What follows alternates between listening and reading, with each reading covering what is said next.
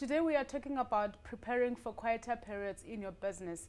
And this is a follow-up from last week's um, topic, which was about taking advantage of the festive season, which could mean for certain businesses an influx of cash flow. Welcome, Anton. Thank you. So talking about preparation, uh, preparing for the quieter season in your business, what does this preparation entail?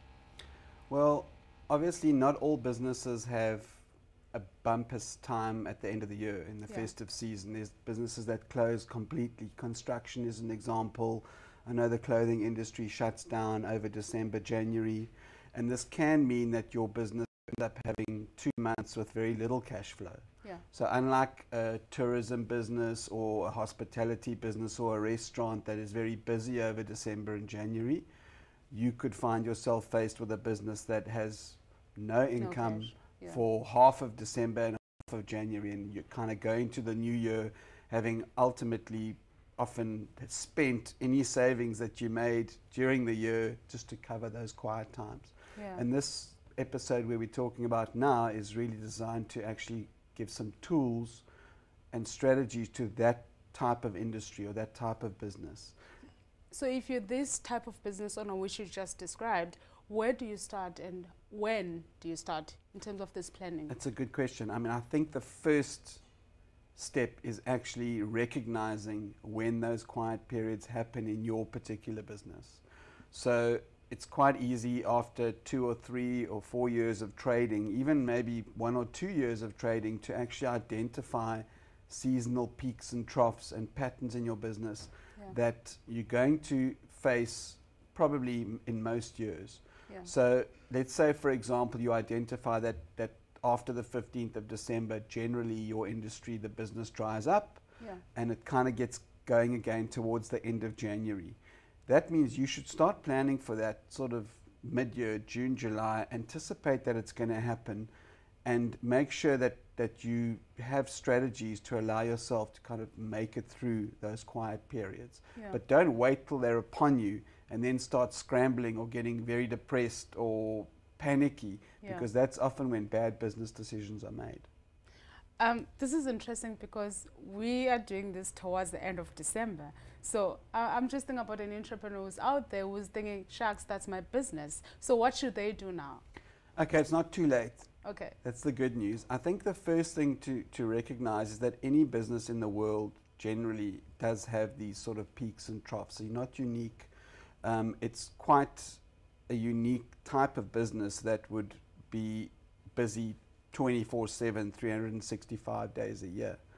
Um, so the first step is to recognize that this happens. It's natural in business and it's something that you've got to manage, you know, like any other business. Yeah. Secondly, anticipating it means that you put squirrel away a little bit of money in your busy times, in your peak times. And we've spoken before about that 5% saving, where I've suggested that every business takes 5% from every invoice they generate and put it, puts it into a, sort of a slush fund, a rainy day fund. Yeah. And that's one area that can tide you over during these quiet times. Another strategy is to use the time to actually engage with your old clients. So you know you've got a bit of quiet time, there's a bit of downtime, you've got hours on your hands. Pick up the phone, go and see your old clients who might not have engaged with you before. Reintroduce yourself, tell them about some specials, some stuff you got planned for the next year. Yeah. That's often a great time to reconnect when people are sort of planning and considering what, what they're going to do for the following year. And another very tangible strategy that one can use to manage quiet, quieter periods is catch up on your admin. Now, not many of us like admin, yeah. but certainly it's stuff that needs to get done. And usually, when you're busy and in the midst of operations, it's stuff that gets put to the back burner. So, for sort of small entrepreneurially driven businesses that don't have a lot of staff, yes. this quiet time is actually a godsend. It allows you to make sure that everything's up to date catch up on your admin, get your tax clearance certificates in place, do some strategizing for the following year, and use that time. And finally, take a bit of time out. When it's and also quiet, maybe polish on your pitch if you need to. Sure. I mean, reinventing your business plan. but I would say take some proper time out. Okay. Chances are you've probably been working 14 hours a day Yes. for the last 10 months. So come a dip in, in, in, in your business, when you're in the workload, it's actually a sign that says, listen, it's okay. yeah. Go to the beach, you know, get a tan, see your friends, enjoy the holidays, and get energized for what's going to be a busy year next year. It's not the end of the world that you're a bit quiet now. It's probably the universe's way of saying, hey, relax.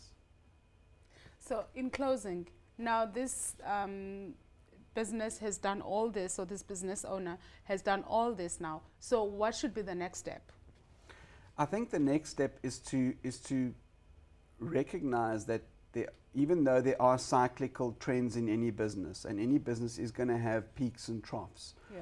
um, use the, the strategy and the and the time that you have in those quieter periods to try and come up with ways of mitigating them. So an example would be, you know, every year in December, January, my traditional business dries up. Is there another revenue stream that I can maybe channel in that time?